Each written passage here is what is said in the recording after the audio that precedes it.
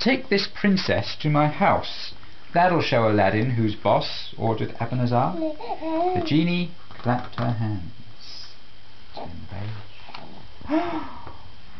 When Aladdin found out that his wife and the lamp had disappeared, he guessed it was the work of Abanazar. He went straight to his uncle's house and rescued his princess. Then he took the lamp from the sleeping Abanazar and rubbed it. The genie appeared again. Whoosh! Oh. I am the genie of the lamp. What is your wish, O master? she said.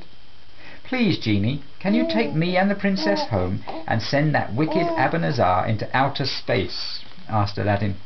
With pleasure, said the genie, and with a puff of blue smoke she did just that. Yes, there she is, the princess and Aladdin. Let's turn the page again. Ooh, Aladdin